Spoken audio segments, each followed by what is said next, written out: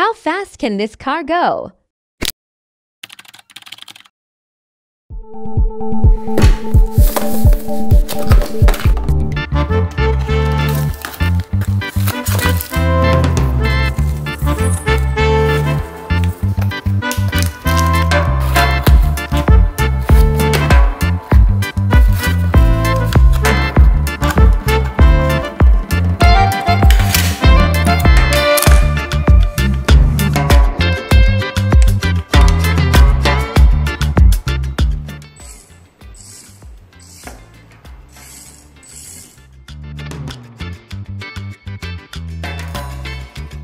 The red one is the previous version.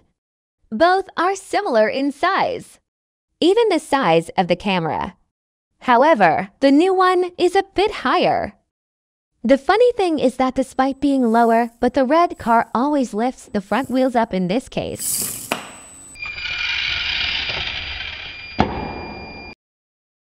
It is probably because the red one is lighter than 5 gram.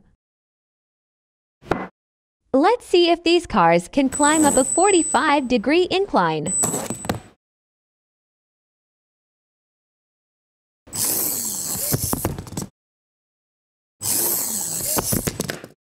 The FPV camera on top of this car is detachable. That's cool. You cannot do that on the previous versions. Try again without camera.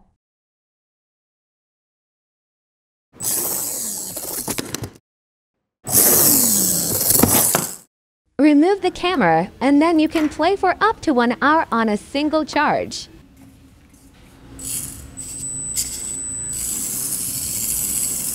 Or you can turn the camera off with this button.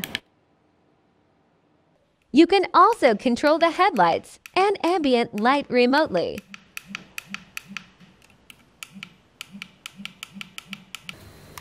The good news is that you can now use three AAA batteries to power the remote.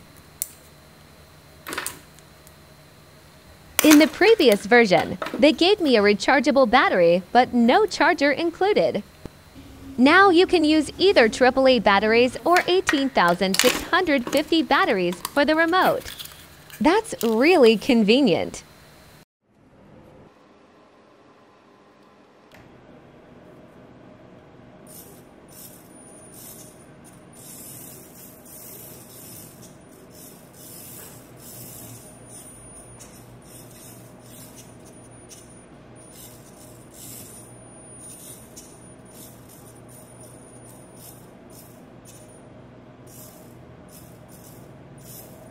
Don't forget to like, share, and subscribe.